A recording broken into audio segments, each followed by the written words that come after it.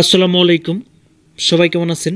প্রিয় দর্শক, দেওয়ালে গাঁথুনির আগে যে বিষয়গুলো আপনাদের জানা উচিত, এই ভিডিওতে এই বিষয়গুলো নিয়ে আলোচনা করব।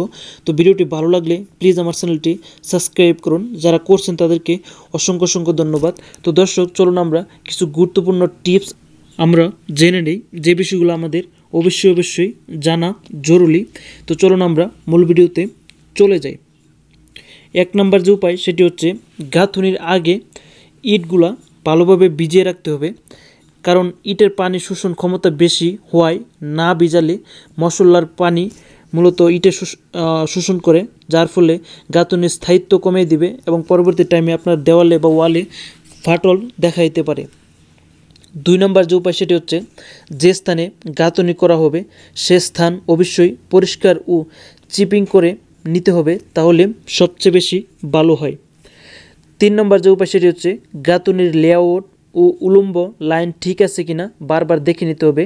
মানে যতটুক গাঁথনি করা হয়, ততটুক লম্বা এবং উঁচা কোনা সব কিছু ঠিক আছে কিনা তা ভালোভাবে দেখে নিতে হবে।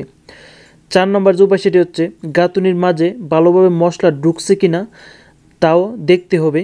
একটি ইটের উপর আরেকটি ইটের সংযোগস্থলে যেন দশ মিলিমিটারের বেশি না হয়।